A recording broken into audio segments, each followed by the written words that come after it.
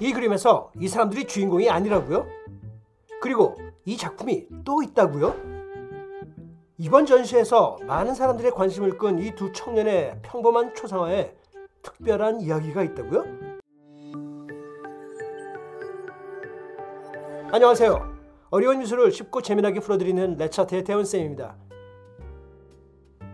지난주에 이어 국립중앙박물관에서 전시 중인 내셔널 갤러리 거장들 전에 숨겨진 아주 흥미로운 뒷이야기들을 소개하겠습니다. 우선 이번 전시에서 저를 포함해 많은 관객들의 시선을 끌었던 작품이 있었는데요.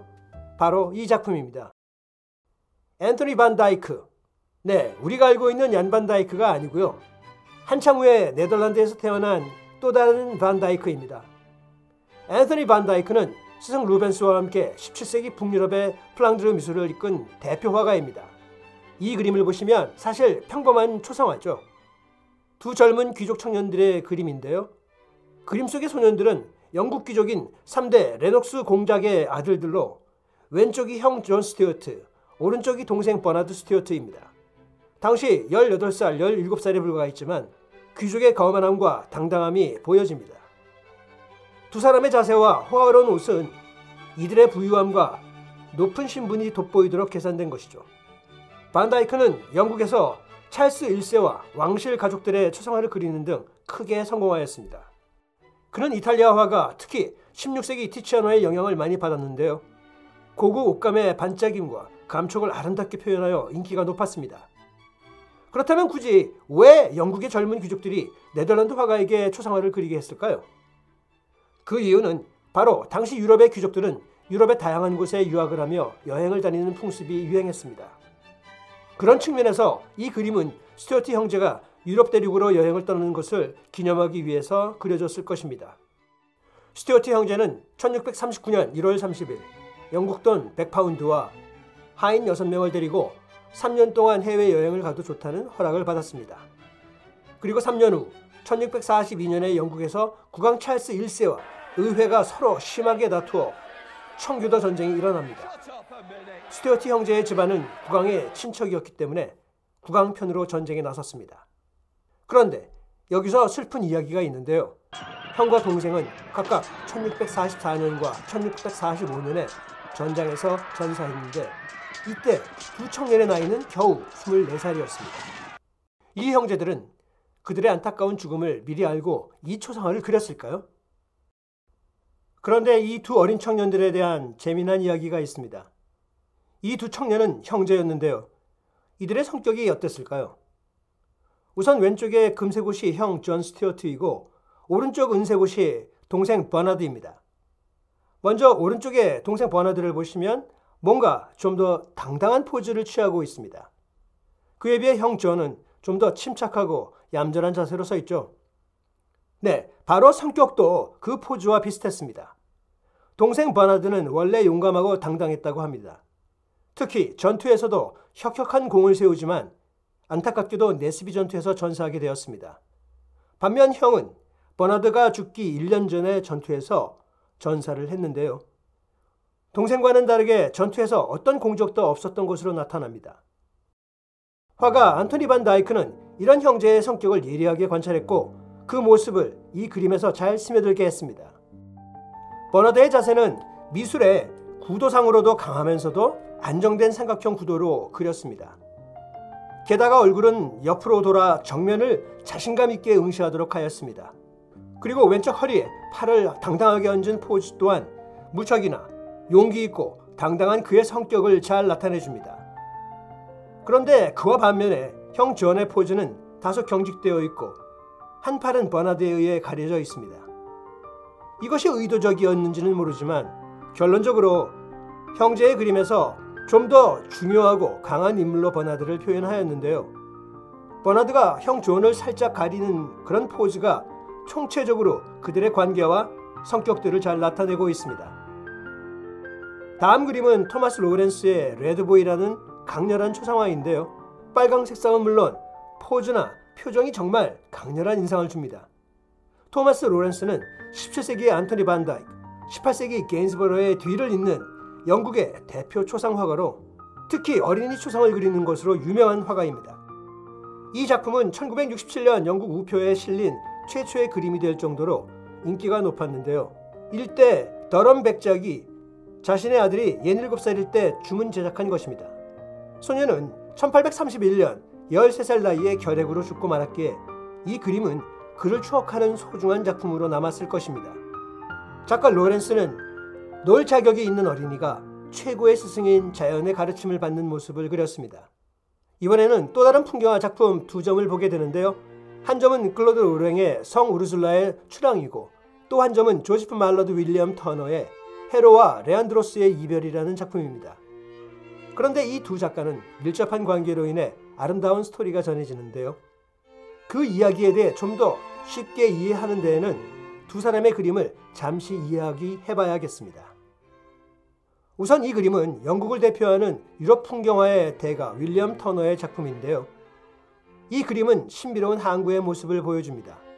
그런데 터너의 이 카르타고를 세우는 디도는 2세기 전에 살던 프랑스 화가 클로드 로랭의 이 두 풍경화에서 강한 영감을 받아 그린 것입니다.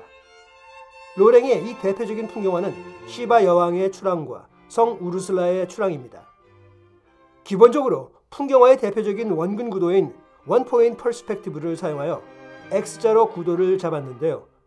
이 세 그림이 모두 같은 구도였습니다. 흥미롭게도 이런 터너의 로랭에 대한 존경심은 그가 사망하며 유언으로 그의 작품 3만 점을 내셔널 갤러리에 기증하며 카르타고를 세우는 디도를 로랭의 그림 옆에 전시해달라고 부탁했다고 합니다. 그리고 이번 국립중앙박물관 전시에서도 로랭과 터너의 그림을 나란히 전시하게 되었습니다. 이런 부분을 알고 감상하니 더더욱 그림 감상이 재밌어집니다. 그런 관점에서 로랭의 성 우르슬라의 출항을 보시면 중세의 성인들의 삶을 담은 이야기를 그린 그림 중 하나입니다. 성 우르슬라는 대영 제국의 전신인 브리튼의 공주였는데요. 그녀가 만 천명의 처녀들을 데리고 로마로 성지 순례를 떠나게 됩니다. 이후 독일 쾰른에 도착했을 때 침략 유목민인 훈족에게 사로잡히게 됩니다.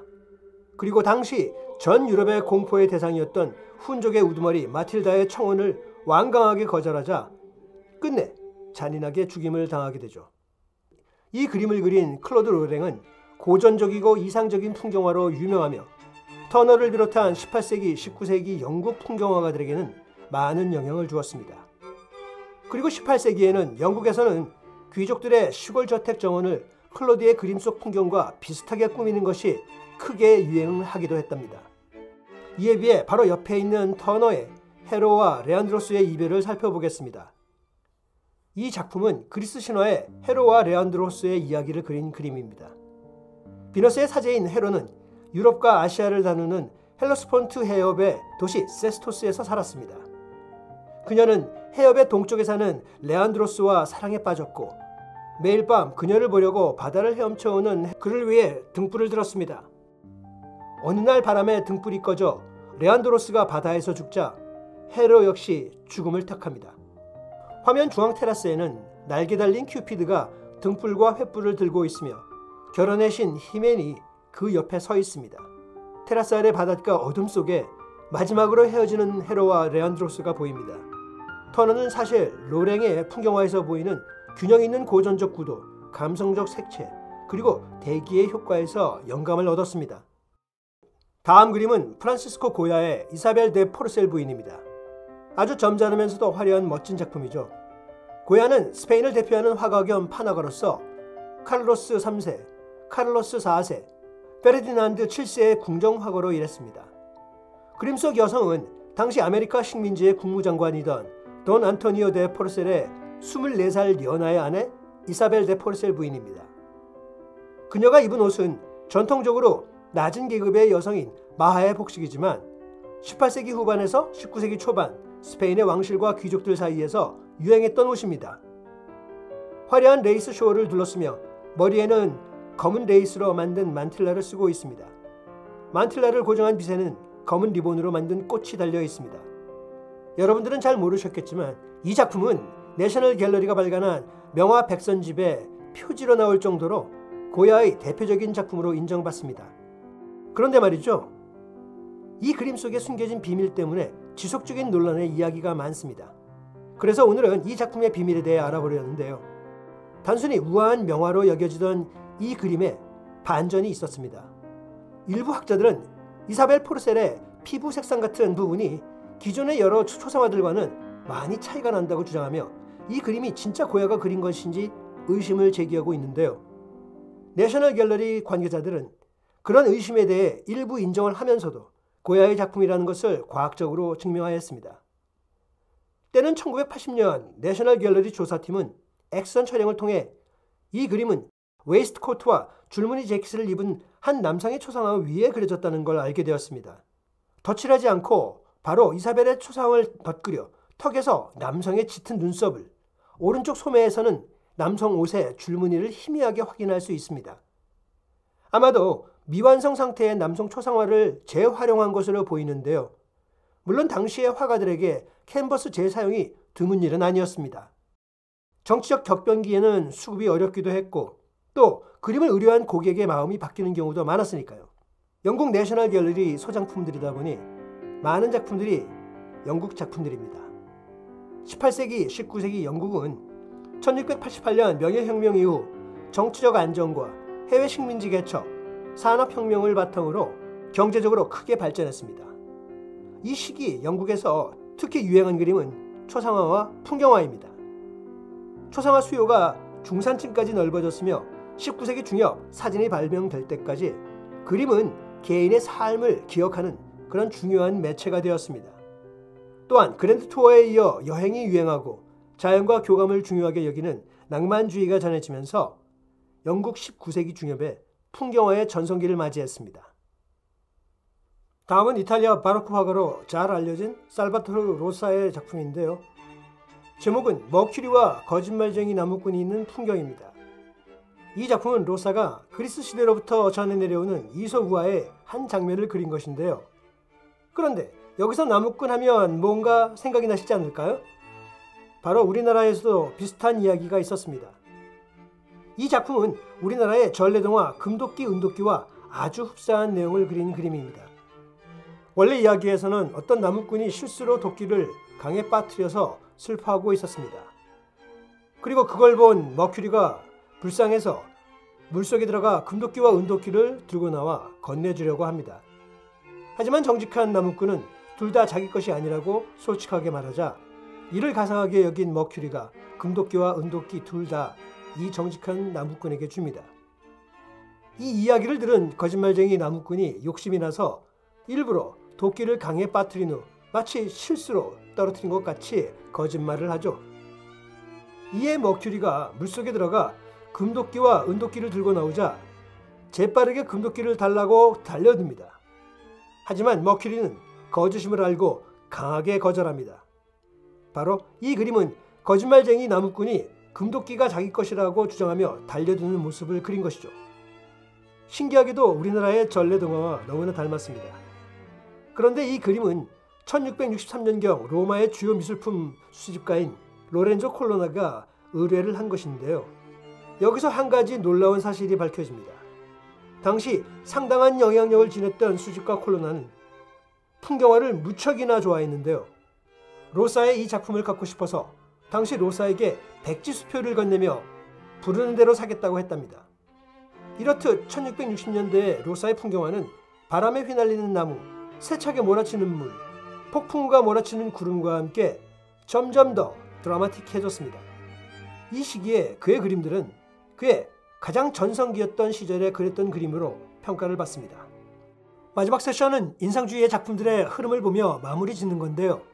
제 개인적인 의견으로는 마지막 세션의 인상주의 작품들이 다소 약한 듯 합니다. 문제는 이번 전시에서는 대표적인 인상주의 작품이 아닌 작가의 초기 작품들이나 잘 알려지지 않은 그런 작품들이 대부분이었다는 겁니다. 19세기 후반 프랑스의 인상주의 화가들은 산업혁명으로 근대화된 도시의 변화된 모습에 관심을 가졌습니다. 사진이 등장하면서 화가는 대상을 그대로 묘사할 필요가 없어졌으며 튜브 물감의 발명으로 야외 작업이 가능해졌습니다. 인상주의 화가들은 시시각각 변화하는 빛과 색채를 그리고자 했습니다. 이제 화가는 회화에서 중요한 것은 주제이며 회화는 자연을 사실적으로 묘사하는 것이다 라는 전제에서 벗어나 스스로 선택한 현실 속 순간을 주관적으로 표현했습니다. 인간과 자연으로 향하던 화가의 시선은 점차 눈에 보이는 객관적인 세계를 넘어 화가의 내면으로 향하게 됩니다. 폴 세잔의 초기 작품 작업실의 난로, 르누아르의 목욕하는 사람, 존 싱어 살전트의 와인잔이라는 풍경화도 보입니다. 하지만 인상주의라고 하기에는 임팩트가 없었습니다. 이 그림은 마치 폴 세잔의 그림 같아 보이는데요. 사실 폴 고갱의 정물화입니다. 놀라셨죠? 그런데 폴 고갱은 세잔의 과일 정물을 무척 좋아했다고 하는데요. 심지어 그는 세잔의 정문화 6점을 직접 구매하기도 했습니다. 그중 과일 접시, 유리잔, 사과가 있는 정물을 가장 좋아했다고 하는데요. 고갱은 시시각각 변하는 빛과 색의 순간을 포착하는 인상주의를 넘어 보다 영속성 있는 접근법을 찾는 과정에서 세잔으로부터 많은 영감을 받았습니다.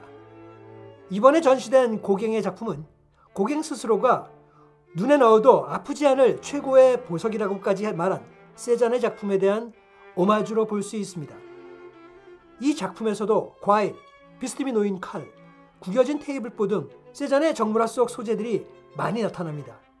그런데 한 가지 이상한 점은 이 시기 고갱이 사용하기 시작한 사인 피, 고가 왼쪽 아래에 거꾸로 쓰여져 있었습니다. 왜 그런 걸까요?